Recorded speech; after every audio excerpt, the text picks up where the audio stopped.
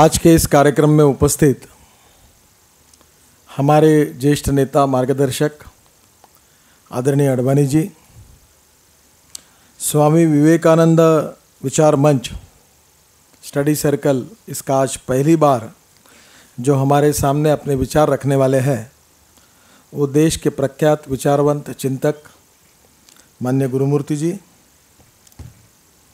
हमारे इस स्वामी विवेकानंद विचार मंच के स्टडी सर्कल के कन्वेनर माननीय बलबीर पूंजी और उपस्थित सभी भाई और बहनों।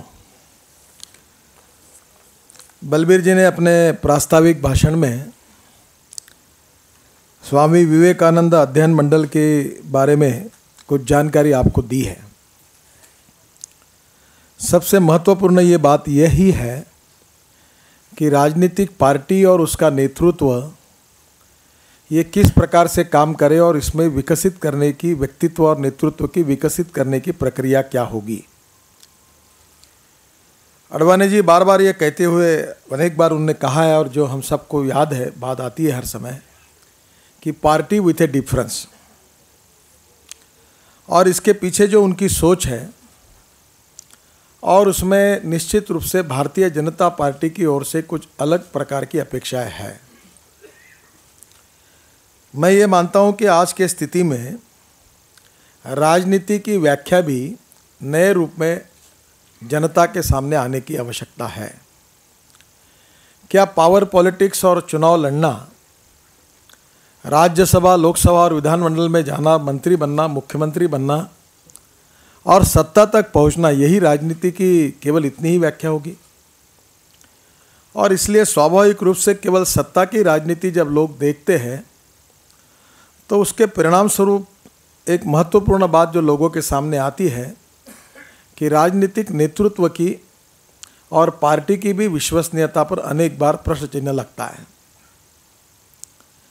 मैं ये मानता हूँ कि politics is a instrument of socio economic reform and national reconstruction. राष्ट्र के पुनर्निर्माण का और सामाजिक और आर्थिक परिवर्तन का प्रभावी उपकरण राजनीति है। और यह उसी समय संभव हो सकता है कि हमें अगर नेतृत्व उस दिशा में कार्य करने वाला मिलेगा तो यह उद्दिष्ट के हम नज़दीक पहुँच सकते हैं। एक फिलोसोफर ने सही कहा है कि पर्स एंड पर्सन, इसमें पर्सन बड़ा है। पर्सन और पार्टी, इसमें पार्टी बड़ी है और पार्टी और फिलॉसफी, इसमें फिलॉसफी बड़ी है। भारतीय जनता पार्टी ने जिस विचारधारा को स्वीकार किया है, पाँच महत्वपूर्ण बिंदुओं पर हम काम कर रहे हैं कि राष्ट्रवाद का विचार, राष्ट्र की सर्वांगीण उन्नति और विकास, ये राष्ट्रवाद का विचार हमारी प्रेरणा का विषय है। और स्वाभाविक रूप से राष्ट्र के साथ कटिबद्धता, राष्ट्र की सर्वांगीण उन्नति और विकास नेशनलिज्म इसको हमने स्पिरिट के रूप में स्वीकार किया है। स्वाभाविक रूप से राष्ट्रवाद का विचार को जब हम स्वीकार करते हैं तो राष्ट्र की सुरक्षा इंटरनल और एक्सटर्नल भी महत्वपूर्ण है। राष्ट्र की आर्थिक प्रगति, औद्योगिक प्रगति और समाज के विभिन्न क्षेत्रों में उसकी प्रगति और विकास की और राष्ट्र को ले जाना ये भी उसी में आता है। दूसरा जो महत्वपूर्ण विषय कि ये किस प्रकार से हम प्रगति और विकास करेंगे, इसके लिए हम बार बार इस बात का ज़िक्र करते कि good economic governance with the help of e governance and development सुशासन और विकास, और ये हम लोग इसमें से निश्चित रूप से ई गवर्नेंस के द्वारा इफेक्टिवली देश का देश में परिवर्तन करेंगे, सामाजिक, आर्थिक परिवर्तन करेंगे और हमारे देश को दुनिया की एक ताकतवान शक्ति के रूप में हम देश को निर्माण करेंगे और उसको किस प्रकार से करेंगे, उसका अध्ययन रख के, उसके विचार हमने सामने रखकर उसका इम्प्लीमेंटेशन करना, ये उसका दूसरा महत्वपूर्ण बिंदु है। तीसरा बिंदु जो है, जो हमारा उद्दिष्ट क्या है? जो 1967 में पंडित दीनदयाल उपाध्याय जी ने कालीकत के अधिवेशन में जो बात कही थी वॉर अगेंस्ट पावर्टी गरीबी के खिलाफ हमको लड़ना है। और ये बात सच है कि गुड इकोनॉमिक पॉलिसीज़ इससे हम परिवर्तन कर सकते हैं। आज की समस्याओं का सबसे बड़ा अगर समस्या का कारण अगर कोई है तो wrong economic policies and bad and corrupt governance ये हमारी सबसे बड़ी समस्या है। तो इसलिए निश्चित रूप से हमने हमारे सामने जो विचार रखा है कि समाज का जो आखिरी व्यक्ति है, जो शोषित है, जो पीड़ित है, जो दलित है, और जिसकी गरीबी दूर करके उसका जीवन सस्टेनेबल हमको बनाना है तो पंडित दीनदयाल उपाध्याय जी के भाषा में उनने कहा था कि जिसके पास खाने के लिए रोटी नहीं है, पहनने के लिए कपड़ा नहीं है, और रहने के लिए घर नहीं है, उस व्यक्ति को जिस दिन रोटी, कपड़ा और मकान मिलेगा, उस दिन हमारा कार्य पूरा होगा, ऐसा हम समझेंगे। ये अंत्योदय के नाम से उनका प्रसिद्ध चिंतन है, जो सोशो इकोनॉमिक थिंकिंग है। ये हमारा उद्दिष्ट है।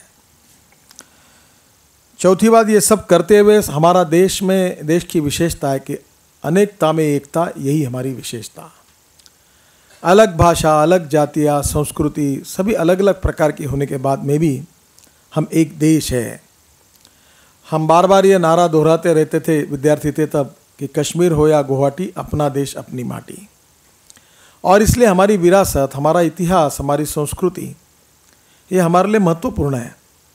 और इसलिए इसको किस प्रकार से हम इसका निर्माण करें, इसलिए सोशल हार्मनी, सामाजिक सद्भाव, ये समाज में, देश में कैसा निर्माण हो, और जात, पंथ, धर्म, भाषा और लिंग भेद किसी भी प्रकार का डिस्क्रिमिनेशन न करते हुए हम हमारी सामाजिक राष्ट्रीय रचना इस प्रकार से करे कि जहाँ सबको समान बराबरी का मौका मिलेगा, समान अधिकार मिलेगा विकास का, और social justice and economic justice वहाँ पूर्ण रूप से होगा। सामाजिक सद्भाव के साथ सामाजिक और आर्थिक न्याय। और जो आखिरी बात हमने विशेष रूप से आग्रह से रखी है कि हमारे समाज की, हमारी शिक्षा की जो वैल्यू बेस्ड सिस्टम है, उस सिस्टम पर आधारित हमारे समाज की रचना वैल्यू बेस्ड सिस्टम ये पूरे दुनिया के आकर्षण का केंद्र बनी हुई है। हमारा इतिहास, हमारी संस्कृति, हमारी विरासत और उसके साथ हमारी विशेष रूप से सामाजिक और शिक्षा के क्षेत्र में जिस प्रकार की आज तक की विरासत विरासत रही है, जो वैल्यू बेस्ड सिस्टम रही है, उसके आधार पर विज्ञान और तंत्र विज्ञान का उपयोग करके हम आधुनिक हिंदुस्तान का निर्माण करेंगे। स्वामी विवेकानंद जी की 150वीं जयंती हम पूरे देश में उत्साह के साथ मना रहे हैं। विवेकानंद जी हमारे प्रेरणा स्त्रोत्र हैं। और विवेकानंद जी के विचार हमारे सबके लिए आदर्श विचार हैं। मैं बार बार उनका उल्लेख करता हूँ कि शिकागो में जो उनने भाषण दिया था, उसमें कहा था कि मैं यह कहने के लिए नहीं आया हूँ कि मेरा धर्म श्रेष्ठ है या मेरा भगवान श्रेष्ठ है। मैं यह कहने के लिए आया हूँ कि आप सबका भगवान भी श्रेष्ठ है, आप सबका धर्म भी श्रेष्ठ है। विश्व बंधुत्व और विश्व कल्याण की बात उन्होंने की थी। धार्मिक कट्टरता, असहिष्णुता, ये कितने हमारे लिए आगे भविष्य में समस्या हो सकती है, इसके बारे में उन्होंने विवेचन किया था। और इसलिए विवेकानंद जी का और उनकी विचारधारा का हमारे राष्ट्र के पुनर्निर्माण के साथ बहुत गहरा संबंध है। और इसलिए स्वामी विवेकानंद जी के नाम पर यह स्टडी सर्कल, हम भारतीय जनता पार्टी में एक प्रोजेक्ट के रूप में, एक प्रकल्प के रूप में चला रहे हैं। बलबीर जी इसके कन्वेनर हैं। और इसलिए मैं अनुरोध करूँगा कि अभी हमने हमारे 16 राज्यों को वीडियो कॉन्फ्रेंस से जोड़ा है। जो वैचारिक चिंतन यहाँ होगा, वो हमारे अनेक राज्यों के प्रमुख कार्यकर्ताओं तक पहुँचेगा। और हम ऐसा नेतृत्व तैयार करेंगे जो निरपेक्ष, निस्वार्थी भाव से राष्ट्र और समाज के लिए समर्पित रहेगा। जो आज की वर्तमान राजनीति की व्याख्या बदलकर राष्ट्र के पुनर्निर्माण में गुणात्मक योगदान देगा। इस व्यक्ति, इस नेतृत्व के निर्माण करने के लिए हम अनेक कोशिशें कर रहे हैं। तीस हज़ार कार्यकर्ताओं का हमने पिछले साल प्रशिक्षण पूरा किया है।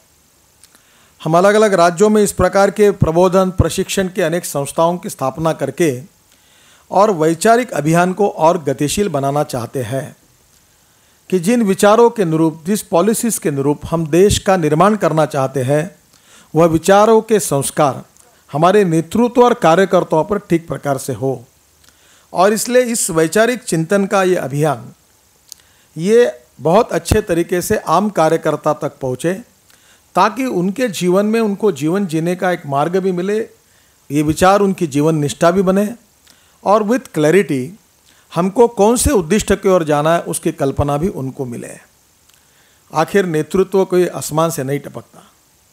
समाज में सभी क्षेत्रों में डिटोरेशन है। चाहे वो जुडिशरी हो, चाहे जर्नलिज्म हो, चाहे राजनीति हो, चाहे किसी भी क्षेत्र में, लोगों के मन में बहुत असंतोष है। पर सिस्टम हमको लोकतंत्र के रूप में अवेलेबल बेस्ट सिस्टम को हमने स्वीकार किया है।